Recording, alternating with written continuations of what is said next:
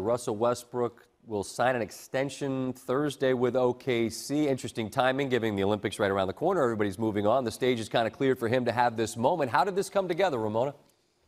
Well, as soon as Kevin Durant said he was leaving, the Thunder took a breath and then gave Russell Westbrook a couple of days to think about this, about making a commitment to stay at least beyond this season. Um, you know, obviously he could have re-signed for longer than this, but the fact that Russell Westbrook has agreed to stay to play in Oklahoma City for two years beyond this uh, is a big win for the Oklahoma City Thunder at a time when obviously they were reeling from the loss of Kevin Durant.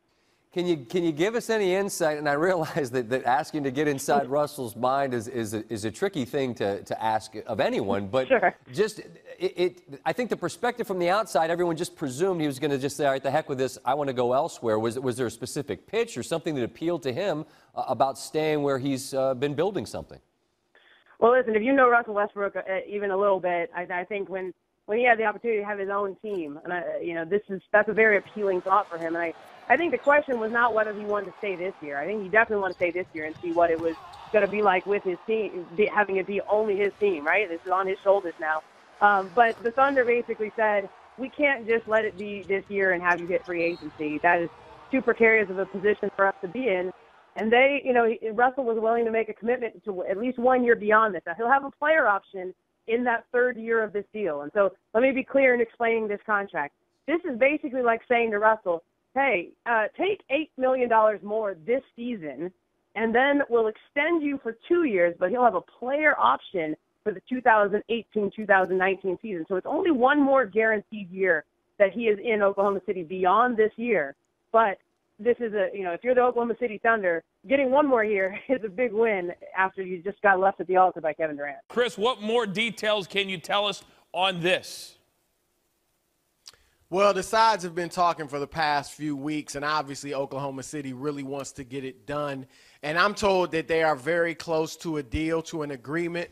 Uh, could get done within the next 48 hours. Now, my source cautioned me that look, They've seen close deals not happen before, but they feel pretty good right now about the chances of the Thunder getting this done.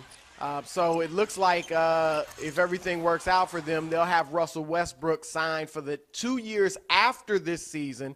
His third year would be at a player option, and basically that would allow him to become a free agent again after completing 10 years of service and that allows him to get even a higher max contract. So that's the reason for the player option. Yeah, uh, all we've seen or heard from Russell Westbrook at this point is some grainy home video and him laughing when asked about Kevin Durant. What are you hearing is the biggest reason that he not only listened to this deal, but he is in fact willing to stay if he signs this deal for multiple years?